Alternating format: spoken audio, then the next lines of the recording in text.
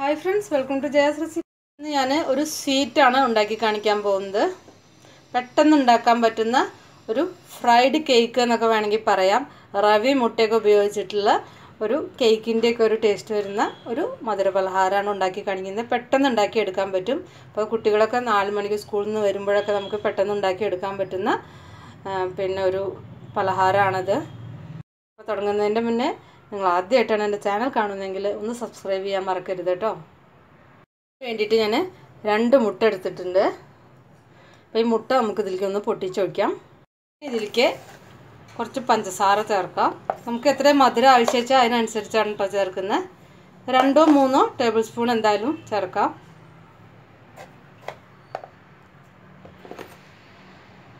ഇതിലേക്ക് കുറച്ച് vanilla essence ആണ് ചേർത്ത് കൊടുക്കുന്നത്.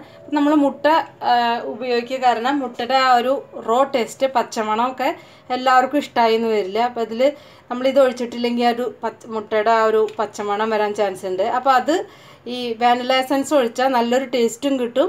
ആ കേക്കിന്റെയൊക്കെ നല്ലൊരു ഫ്ലേവറും ടേസ്റ്റും കിട്ടും. അതുപോലെ തന്നെ ഈ മുട്ടയുടെ ആ പച്ചമണം നമുക്ക് ഒഴിവാക്കി കിട്ടും. അപ്പോൾ നമുക്ക് കുറച്ച് വാനില എസൻസ് ഒഴിക്കാം. കുറച്ച് ഒഴിച്ചാൽ മതി. ഒരു നുള്ള് ഉപ്പ് ചേർക്കാം. മധുരമുള്ളത് ഉണ്ടാക്കുമ്പോൾ നമ്മൾ എപ്പോഴും ഉപ്പ് ചേർത്ത് കഴിഞ്ഞാൽ അതിന്റെ ടേസ്റ്റ് കുറച്ച് കൂടി കിട്ടും. വിസ്ക് അല്ലെങ്കിൽ ഫോർക്ക് ഉപയോഗിച്ചിട്ട് നന്നായിട്ട് നിന്ന് മിക്സ് ചെയ്യാം. നന്നായിട്ട് നിന്ന് അടിച്ചെടുക്കാം.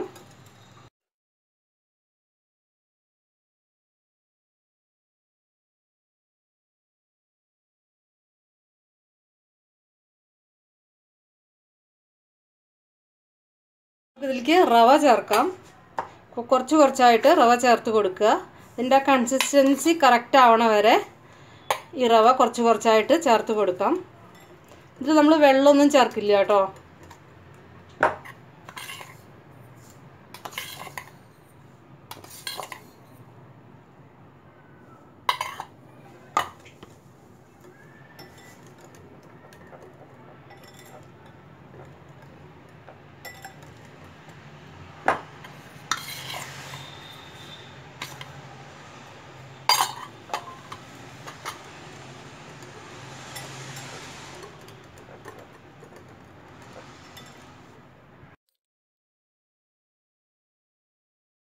പഞ്ചസാര നിങ്ങൾ നോക്കുക എത്ര വേണ്ടതെന്ന്. അപ്പോൾ പഞ്ചസാരയുടെ ടേസ്റ്റ് എന്ന് പറഞ്ഞു കഴിഞ്ഞാൽ പിന്നെ നമ്മുടെ ഇഷ്ടത്തിനനുസരിച്ച് കൂട്ടുകയോ കുറയ്ക്കുകയൊക്കെ ചെയ്യാം.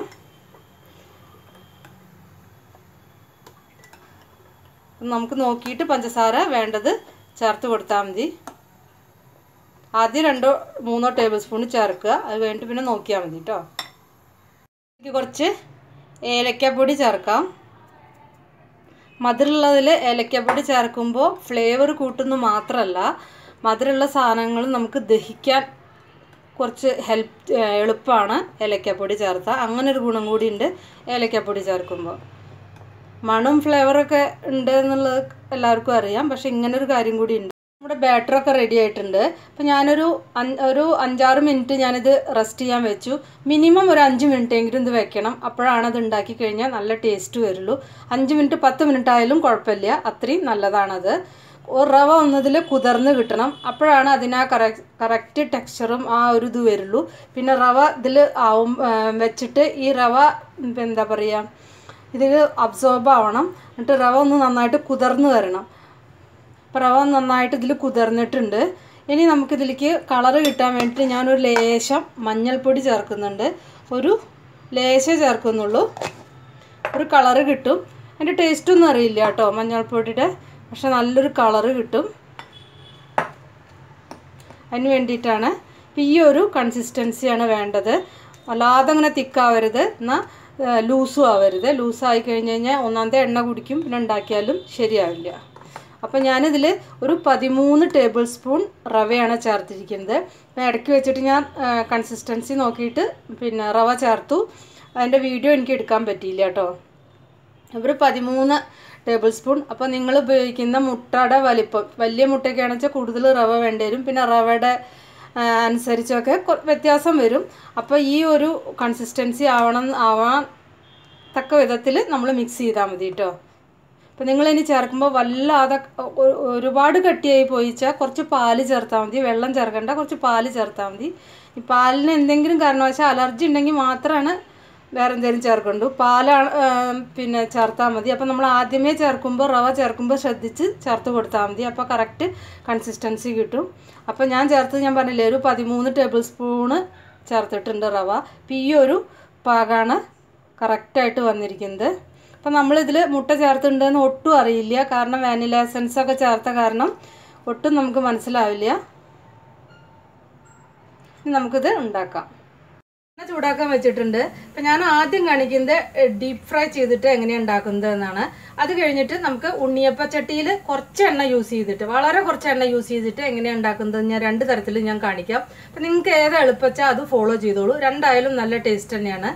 അപ്പോൾ ഡീപ് ഫ്രൈ ചെയ്യുമ്പോൾ ശ്രദ്ധിക്കേണ്ട കാര്യം വല്ലാതെ തിളച്ച എണ്ണയിലേക്ക് ഇടരുത്. അപ്പോൾ ഒന്നിച്ച് കരിഞ്ഞു പോവും. അപ്പം ഞാൻ ആദ്യം ഉണ്ടാക്കി രണ്ട് മൂന്നാലെണ്ണമൊക്കെ കരിഞ്ഞു പോയി. അപ്പോൾ അത് ശ്രദ്ധിക്കണം.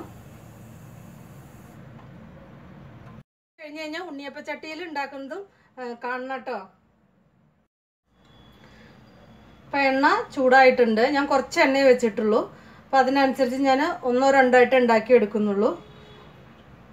അപ്പം ഏത് എണ്ണ വേണമെങ്കിൽ ഇതിന് യൂസ് ചെയ്യാം. ഞാൻ റിഫൈൻഡ് ഓയിലാണ് ഒഴിച്ചിരിക്കുന്നത് പിന്നെ പഞ്ചസാര ഞാൻ ഇതിൽ കുറച്ചും കൂടി ചേർത്തിട്ടുണ്ട് കേട്ടോ. എനിക്ക് കുറച്ച് മധുരം കുറവാ തോന്നി. ഞാൻ രണ്ട് ടേബിൾ സ്പൂണും കൂടി ചേർത്തു. അപ്പോൾ പഞ്ചസാര ഓരോരുത്തരുടെയും മധുരത്തിനനുസരിച്ച് ചേർത്ത് കൊടുത്താൽ മതി. ഇനി ഇത് കുറച്ചെടുത്തിട്ട് ഇതിലേക്ക് ഇട്ട് കൊടുക്കാം. വല്ലാതെ അങ്ങനെ തിളച്ച എണ്ണയിലേക്ക് ഇട്ട് കൊടുക്കരുത്. അപ്പോൾ അത് കരിഞ്ഞു പോവും. അത് ശ്രദ്ധിക്കണം. ഇങ്ങനെ അതിന്റെ മീത മീതയ്ക്ക് ഇങ്ങനെ എണ്ണ ഇങ്ങനെ ആക്കി കൊടുത്ത് അതിങ്ങനെ പൊന്തി വരും. കണ്ടില്ലേ? ഇങ്ങനെ പൊന്തി വരും. നമുക്കിത് മറിച്ചിടാം.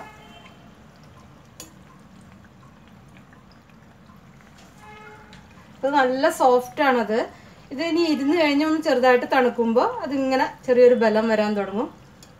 നല്ല ടേസ്റ്റാണ് കേട്ടോ അത് അപ്പം ഞാൻ ഇതിപ്പോൾ നല്ലാതെ ചൂടുള്ള എണ്ണയിലേക്ക് ഇടരുത് കേട്ടോ ഞാൻ ആദ്യം ഉണ്ടാക്കിയതൊക്കെ മൂന്നാലെല്ലാം കരിഞ്ഞു വല്ലാതെ ബ്രൗൺ ആയിപ്പോയി ഡാർക്ക് ബ്രൗൺ ആയിപ്പോയി. അപ്പോൾ ശ്രദ്ധിക്കണം ഉണ്ടാക്കുമ്പോൾ പിന്നെ അതിൽ എണ്ണയിൽ ഒഴിക്കുമ്പോൾ അതിന്റെ കൺസിസ്റ്റൻസി ഒന്ന് ശ്രദ്ധിച്ചാൽ മതി.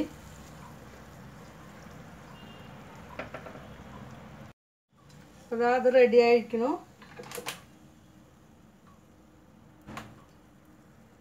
കണ്ടില്ലേ? അപ്പോൾ അത് നല്ല സോഫ്റ്റാണ് ഇനി വെച്ച് കഴിഞ്ഞാൽ അത് കുറച്ചൊരു ബലം വരും. അപ്പോൾ കഴിക്കാൻ കുറച്ചും കൂടി നല്ലതാണ്.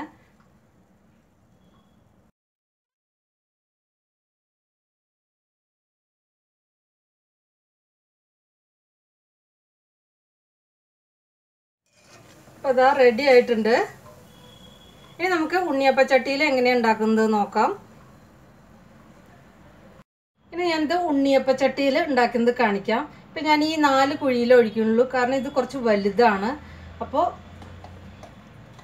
കുറച്ചാണ് ഞാൻ ഉണ്ടാക്കി കാണിക്കുന്നുള്ളൂ. അപ്പോൾ ഇതിൽ കുറച്ച് കുറച്ച് എണ്ണ ഞാൻ ഒഴിച്ചിട്ടുണ്ട്. നമുക്ക് കുറച്ച് എണ്ണ ഒഴിച്ചിട്ട് ഉണ്ടാക്കണമെങ്കിൽ ഇങ്ങനെ ഉണ്ടാക്കാം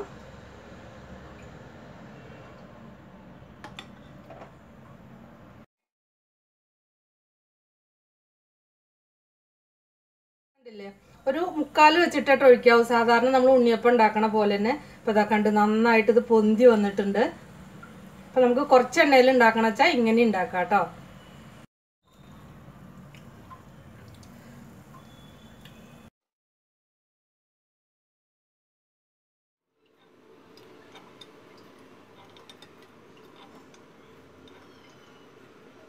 ഉണ്ണിയപ്പച്ചട്ടിയിൽ ഉണ്ടാക്കിയതാണത്. കണ്ടില്ലേ? നല്ല സോഫ്റ്റ് നല്ല കേക്ക് തന്നെ ശരിക്കും.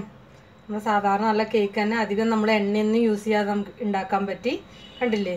നല്ല സോഫ്റ്റാണ് പഞ്ഞി പഞ്ഞി പോലെ ഇരിക്കുന്നുണ്ട്. നല്ല ടേസ്റ്റാണത് ഞാനിതൊന്ന് പൊട്ടിച്ച് കാണിക്കാം കേട്ടോ കണ്ടില്ലേ ഇതിന്റെ ടെക്സ്ചർ ശരിക്കും സാധാരണ കേക്ക് എങ്ങനെയാണ് വരുന്നത് വെച്ചാൽ കേക്ക് ഉണ്ടാക്കുന്ന അതേപോലെ തന്നെയാണ് ഇതിന്റെ ഉള്ളിലത്തെ ടെക്സ്ചർ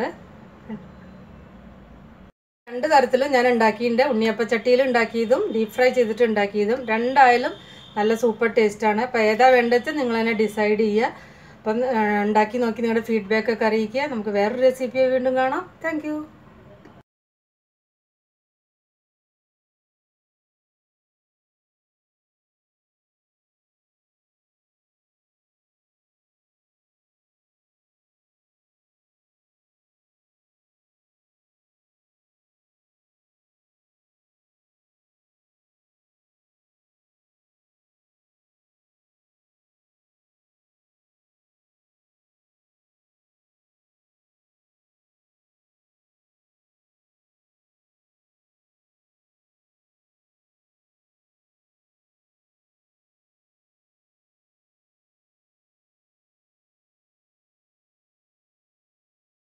ഇതൊന്ന് ഉണ്ടാക്കി നോക്കി. നിങ്ങളുടെ ഫീഡ്ബാക്ക് അറിയിക്കുക.